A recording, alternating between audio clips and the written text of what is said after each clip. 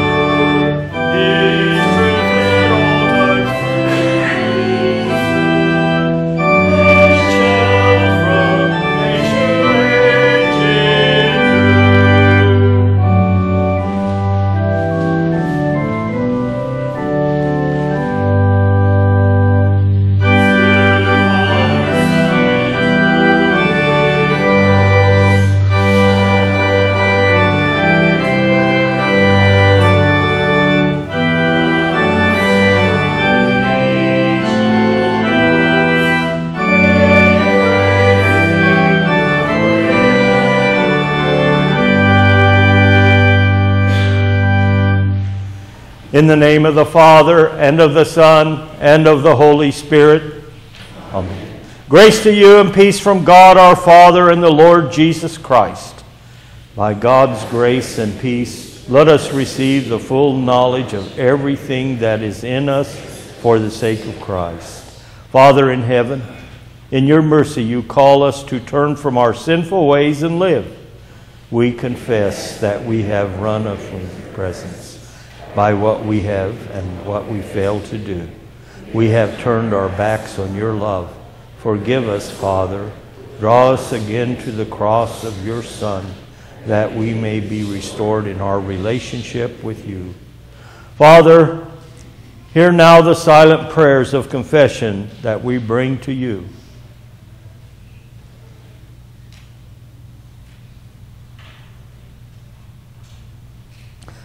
Brothers and sisters in Christ, we are promised redemption and restoration in the presence of our Father who hears our prayers and for the sake of his Son forgives us all our sins.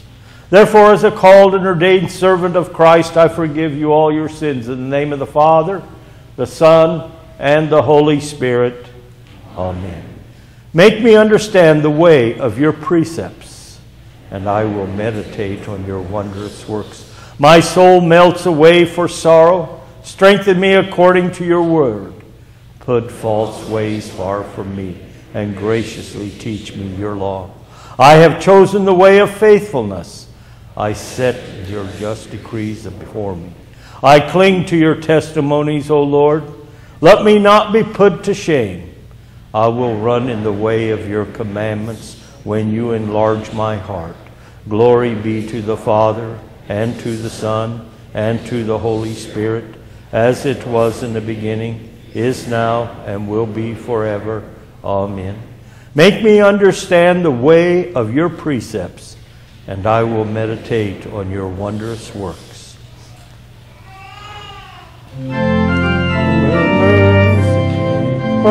Christ have mercy, Lord have mercy. To God on high be glory, to peace to all the earth. Good will from God in heaven, proclaimed at Jesus' birth. We praise and bless you, Father, your holy name.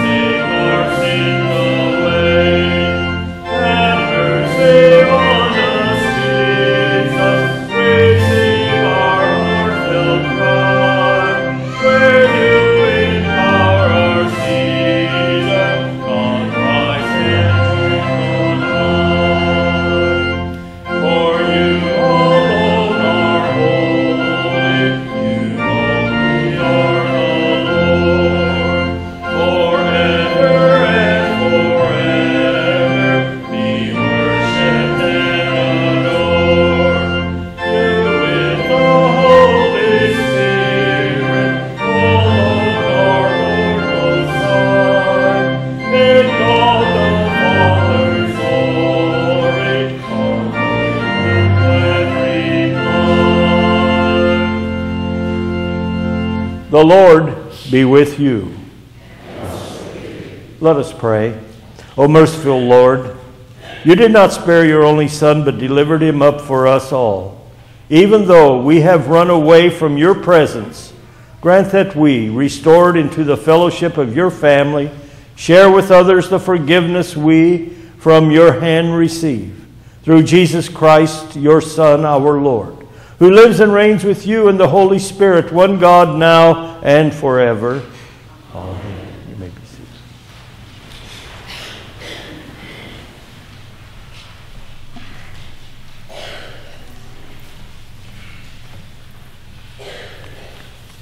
The Old Testament reading for the 13th Sunday after Pentecost is from the book of Deuteronomy, the 30th chapter, and we begin with the 15th verse. See, I set before you today life and prosperity, death and destruction. For I command you today to love the Lord your God, to walk in obedience to him, and to keep his commands, decrees, and laws. Then you will live and increase, and the Lord your God will bless you in the land you are entering to possess. But if your heart turns away, and you are not obedient, and if you are drawn to away to bow down to other gods and worship them, I declare to you this day that you will certainly be destroyed. You will not live long in the land that you are crossing the Jordan to enter and possess. This day I call the heavens and the earth as witnesses against you that I have set before you life and death, blessings and curses.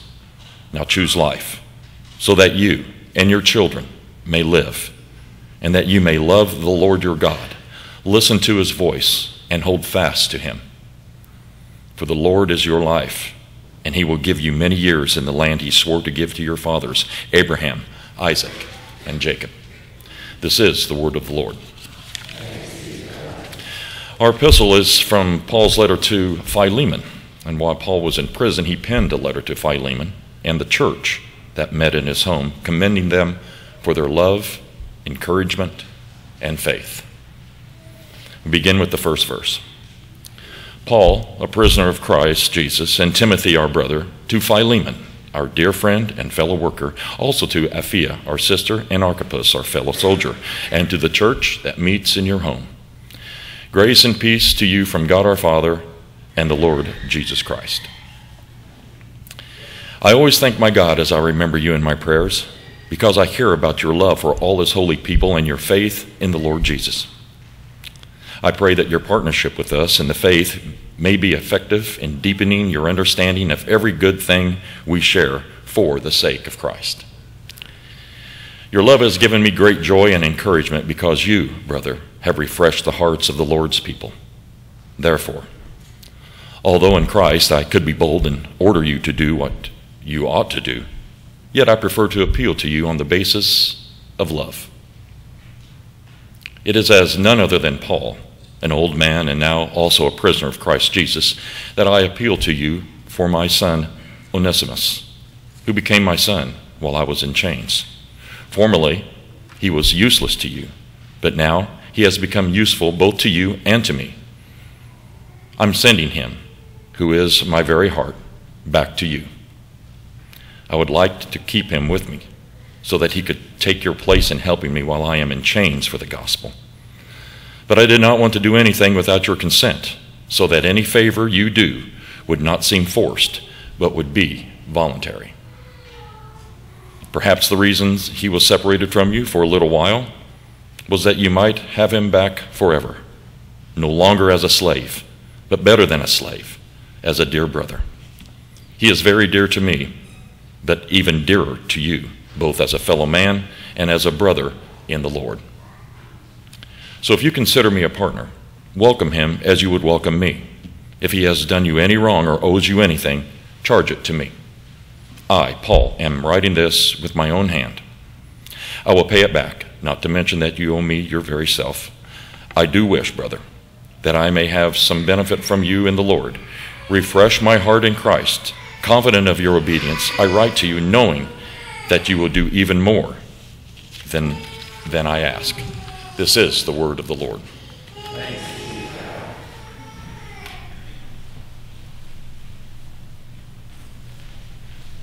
Please rise.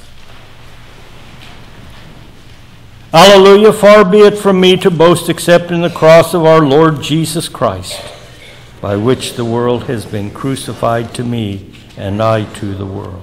This, the sermon text and the Holy Gospel according to St. Luke, the 14th chapter. Glory to you, O Lord. Large crowds were traveling with Jesus, and turning to them, he said, If anyone comes to me and does not hate father and mother, wife and children, brothers and sisters, yes, even their own life, such a person cannot be my disciple. And whoever does not carry their cross and follow me cannot be my disciple. Suppose one of you wants to build a tower. Won't you first sit down and estimate the cost to see if you have enough money to complete it? But if you lay the foundation and are not able to finish it, everyone who sees it will ridicule you, saying, This person began to build but wasn't able to finish. Or suppose a king is about to go to war against another king. Won't he first sit down and consider whether he is able with 10,000 men to oppose the one coming against him with 20,000? If he is not able, he will send a delegation, while the other is still a long way off and will ask for terms of peace. In the same way, those of you who do not give up everything you have cannot be my disciples. Salt is good, but if it loses its saltiness, how can it be made salty again? It is fit neither for the soil nor for the manure pile, it is thrown out. Whoever has ears to hear, let him he- them hear. This is the gospel of our Lord.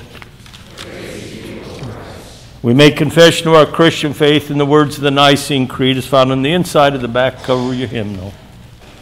I believe in one God, the Father Almighty, maker of heaven and earth, and in all things visible and invisible, and in the one Lord Jesus Christ, the only begotten Son of God, begotten of his Father before all worlds, God of God, light of God, very God of very God begotten, not made, being of one substance with the Father, by whom all things were made, who for us men and for our salvation came down from heaven, and was incarnate by the Holy Spirit of the Virgin Mary, and was made man, and was crucified also for us under Pontius Pilate.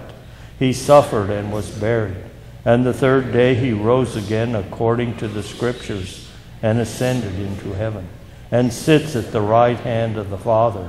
And he will come again with glory to judge both the living and the dead, whose kingdom will have no end.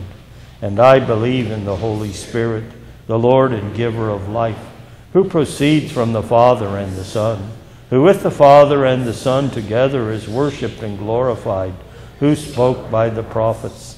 And I believe in one holy Christian and apostolic church. I acknowledge one baptism for the remission of sins, and I look for the resurrection of the dead and the life of the world to come. Amen.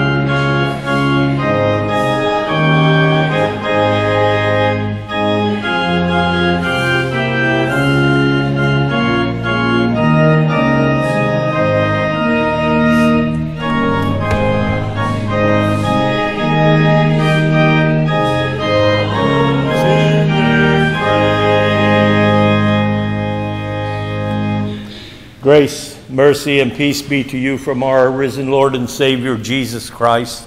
And may His Spirit open up our hearts and minds to His word. Amen. Our text is the gospel reading, as found in Luke 14. In our text, Jesus tells his listeners, those who have been following him, that there is a cost to being his disciple, to being a follower of his.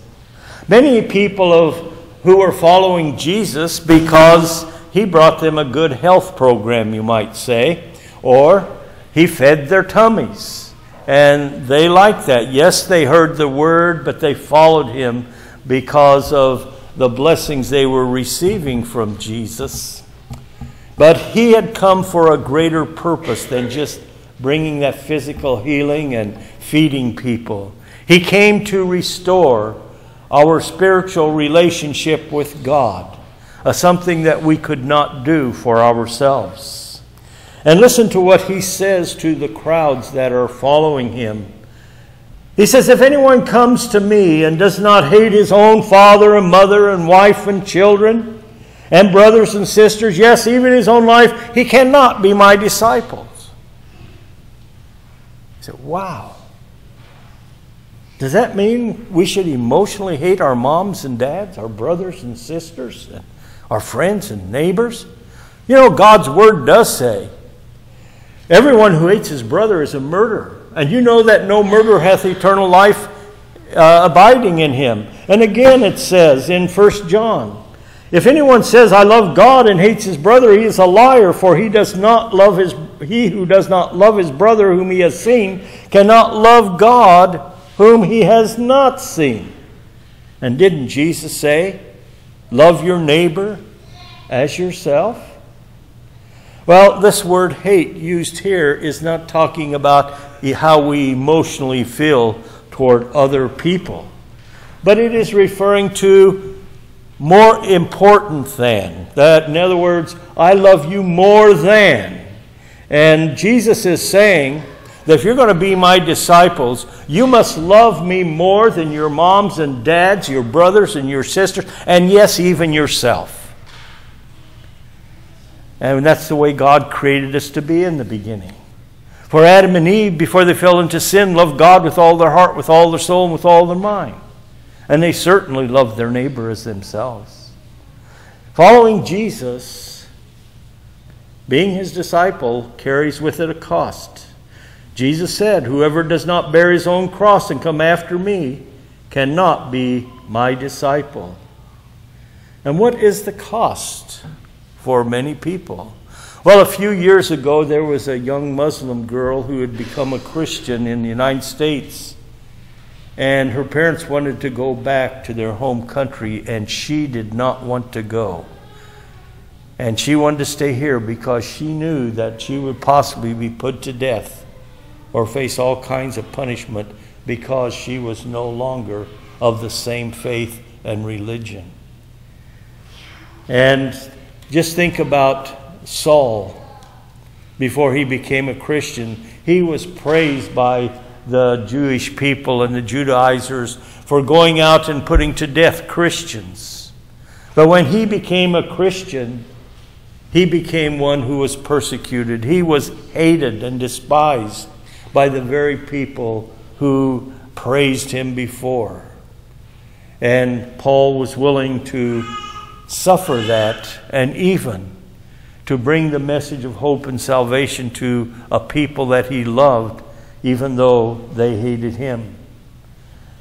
You may find yourself also being ridiculed if you stand up for Jesus and you say, in our society today, that there is only one way of salvation. There is no other ways that there is no other name under heaven among men whereby we can be saved except at the name of Jesus. Jesus, who said, I am the way, the truth, and the life. No one comes to the Father but by me. And when we proclaim the truths of God's word against sin, we can expect people to despise us and to hate us. But Jesus said that would happen. He even said, they will hate you without cause. As I've read the Voice of Martyrs magazine, I read story after story of people after they became Christians that they are hated by their own families in some cases. They lose their jobs. They endure all kinds of hardships. But there is a cost to being a disciple of Jesus Christ. And even the early Christian uh, apostles, when you read this, their stories of their life, only John uh, was uh, put on the Isle of Patmos, and all the rest of them died a martyr's death because they believed in Jesus. Some of them were torn apart by lions, some of them sawed in half, some of them burned at flames at the stake. And tradition has it that Peter was crucified on a cross upside down. But these were things they were willing to do because of their love for Jesus. They loved Jesus more than they loved their own life. They loved Jesus more than their own families because he was the one who had given them a new life that was forever. Many times you and I have sung uh, songs like Take My Life and Let It Be, consecrated, Lord, to Thee. Take my moments and my days, let them flow in Jesus' praise.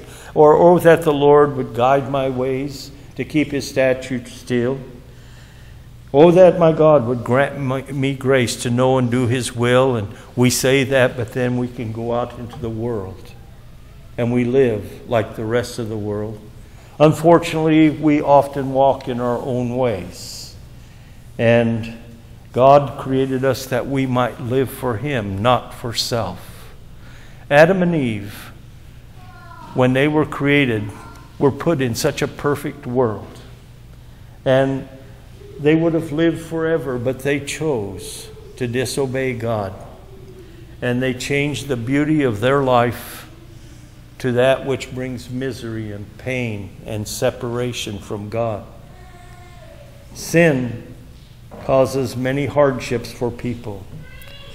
Now, the created things, instead of worshiping the Creator, begins to worship and seek after worldly things and worship and love those worldly things more than they love their Creator.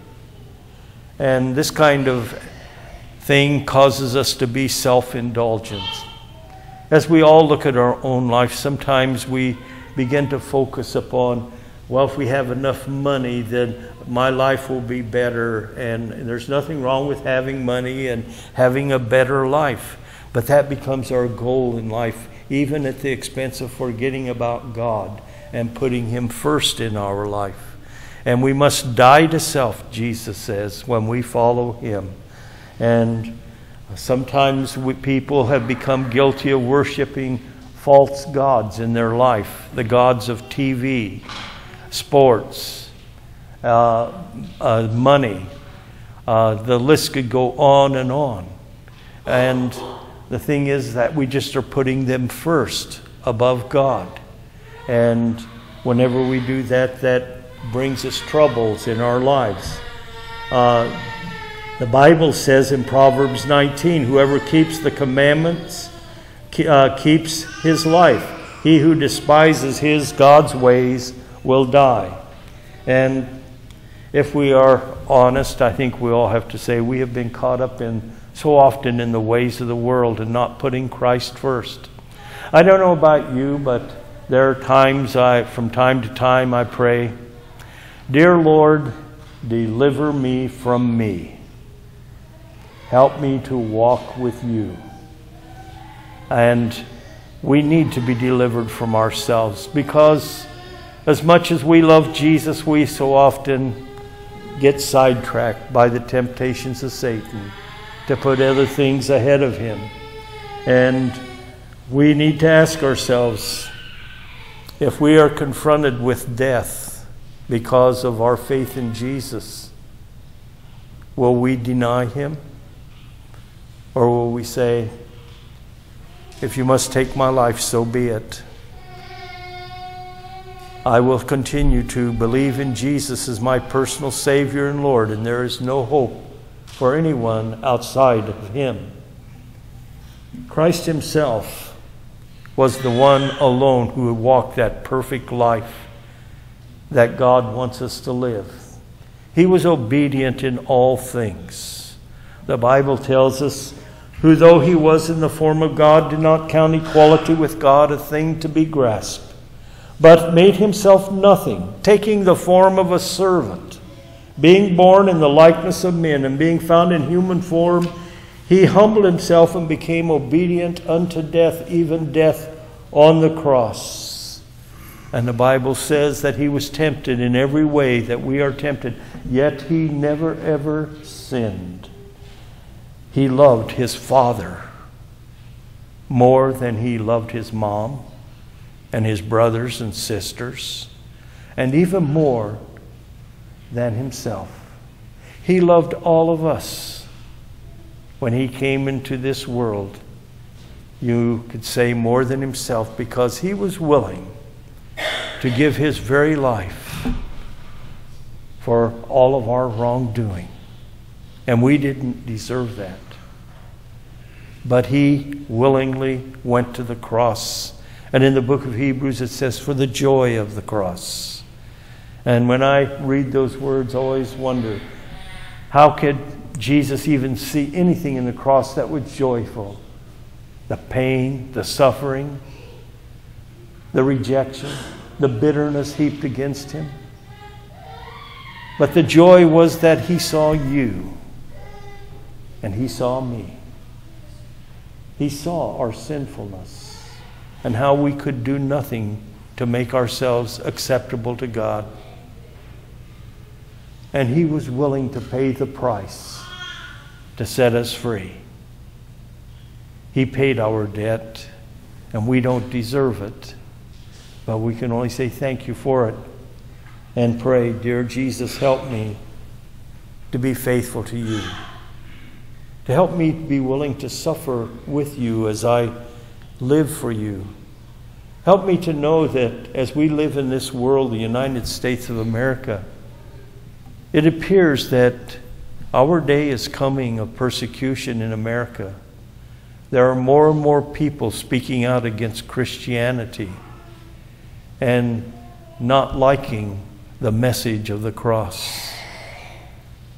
And we need to pray, Lord, please help me to be bold to confess Jesus. Help me to share the message of the cross with these people who are going to be lost forever. Give me a love for them no matter what they do to me, as you had a love for all of us when you hung on the cross and said, Father, forgive them, for they know not what they do. Fill me with your grace and the wonderful joy of knowing that we're forgiven. We're God's people, and that no matter what happens to us, we have a wonderful place in glory awaiting us, given to us by God's grace through faith in Jesus. To God be the glory. Great things He has done, so loved He the world. He gave us His Son. Amen.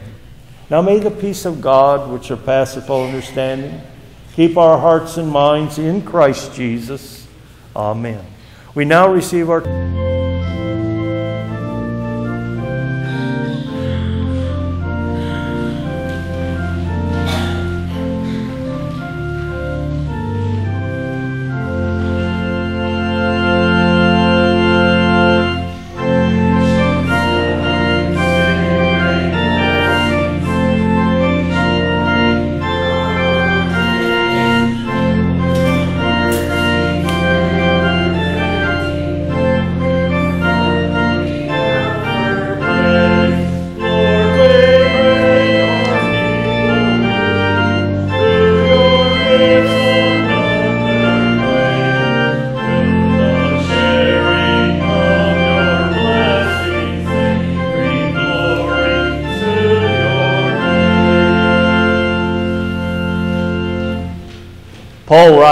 I thank my God always when I remember you in my prayers because I hear of your love and of the faith you have toward the Lord Jesus and all the saints. United in love and faith, let us pray for the whole people of God in Christ Jesus and for all people according to their needs. for the gospel of Jesus Christ to reach into every corner of our broken world, that all who are running away from our Heavenly Father turn from the path that leads to destruction, and by the Holy Spirit turn to Jesus for redemption and restoration. Let us pray to the Lord. Father, strengthen us to turn to you in repentance and faith.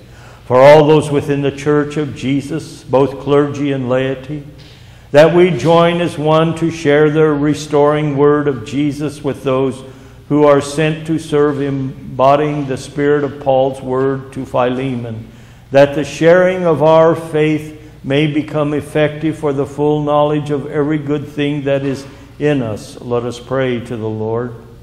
Father, grant that we know all the good things that come to us as we share your word. For all those who seek restoration with others, that the message of forgiveness of sins, life, and salvation not only be received in humble faith, but also shared within the relationships we have, knowing that every one of us is dependent upon Christ's mercy and love, let us pray to the Lord. Father, help us to extend to others the mercy you receive from you. For all who labor in positions of service and leadership in our country, state, and local community, including the members of the armed forces, that they know the constant protection of, your, of our gracious God and joyfully serve others in the vocations they have been given, let us pray to the Lord. serving in the lives of others. And dear Heavenly Father, we thank you that this day is celebrated as Grandparents' Day, and we ask your blessing upon all those who are grandparents, and may they continue to be an example of your love and caring for other people. And we also thank you for that Pastor Burdick has accepted the call to be pastor here at St. John's, and we look forward to his installation. And we ask also that you would be with him as his family moves to this area. And we ask that you would also be with the college students and the congregation uh, that he is presently at and assure them of uh, your caring for them and that you will provide them with a servant who will feed them spiritually. We ask your blessings upon all these things and we pray to you. And for all who are broken in heart, body, and mind in relationship, including those who are shut in hospital and care centers, awaiting surgery and recovering from medical procedures. We bring to you, O Lord, those on our prayer list. Be with Elder Klitzing, who has had a stroke and is at the Springfield Hospital. Be with Cindy Esch, who is recovering from her surgery. Be with Craig Wolf, a cancer patient. Be with Chuck Mayberry, recovering from his heart surgery, and Nick Miller, who is a cancer patient, and Craig Wolf, who is dealing with chemo uh, treatments. Be with Dave Frower a cancer patient and be with uh, Ralph Stuckmeyer, Cheryl Prummer's dad, and Gerald Prummer, uh, Jerry Prummer's dad, and be with Katie Ziegler, who is recovering from her surgery, and also Howard Hake, who is recovering from surgery and is at Lakeland. And we ask also that you'd be with all others that we know and our families, our neighbors, and our friends uh, that are in need of your healing touch. We pray that the Lord would refresh the hearts of his saints and work mightily for their good. Let us pray to the Lord. Father, grant healing and refreshment to all for whom we pray. Into your hands, O Lord, we commend ourselves and all for whom we pray, trusting in your mercy through Jesus Christ our Lord. Amen. Hear us as we pray in his name and as he has taught us. Our Father, who art in heaven, hallowed be thy name. Thy kingdom come, thy will be done, on earth as it is in heaven. Give us this day our daily bread, and forgive us our trespasses, as we forgive those who trespass against us. And lead us not into temptation, but deliver us from evil. For thine is the kingdom, the power, and the glory, forever and ever. Amen. The Lord be with you. Lift up your hearts. Let us give thanks to the Lord our God. It is right to give him thanks and praise. It is truly good, right, and salutary that we should at all times and in all places give thanks to you, holy Lord, Almighty Father, everlasting God, for the blessings you freely bestow on us and all creation. Above all, we give thanks for the redemptive love shown to us when you sent your one and only Son into our flesh and laid on him our sin, handing him over to death that we might not die eternally. All who have run away from your presence are welcomed anew into your arms of mercy through the restoring work of Jesus Christ. Therefore, with angels and archangels and all the company of heaven, we laud and magnify your glorious name, evermore praising you and singing.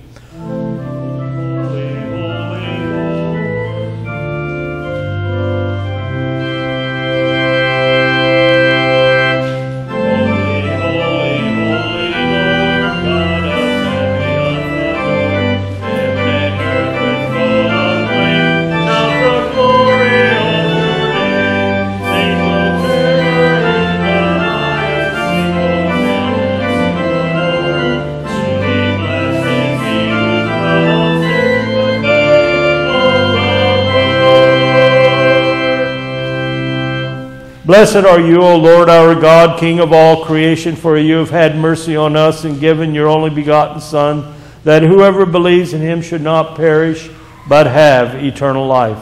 In your righteous judgment, you condemned the sin of Adam and Eve, who ate the forbidden fruit, and you justly barred them and all their children from the tree of life. Yet in your great mercy, you promised salvation by a second Adam, your Son, Jesus Christ our Lord and made his cross the source of restoration for all who trust in him. We give you thanks for the saving work of Jesus, by which we are restored as those who once had run away from you, but now return to you in repentance and faith.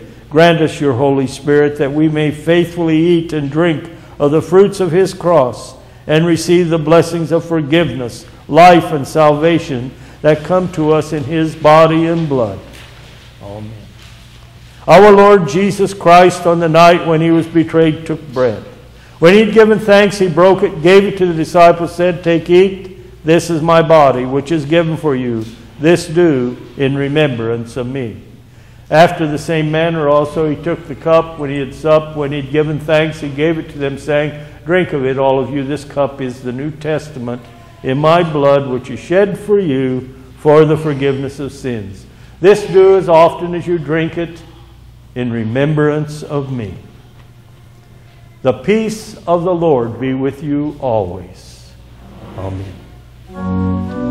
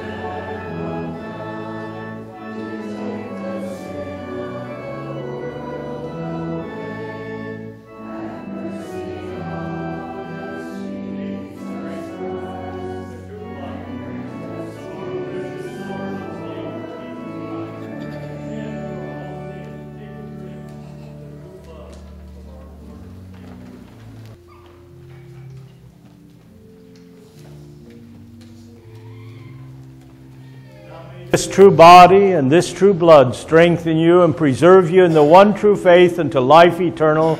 Go in his peace. Please rise.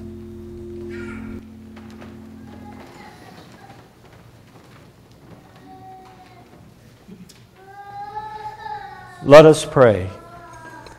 We give thanks to you, Almighty God, that you have restored, renewed, and refreshed us through this salutary gift. And we implore you that of your mercy you would strengthen us through the same in faith toward you and in fervent love toward one another through Jesus Christ, your Son, our Lord, who lives and reigns with you in the Holy Spirit, one God now and forever. Amen.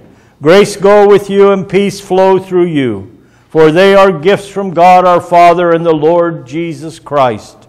By God's grace and peace, we have been blessed with the full knowledge of every good thing that is in us for the sake of Christ. The Lord bless you and keep you. The Lord make his face shine on you and be gracious to you. The Lord lift his favor upon you and give you his peace. Amen.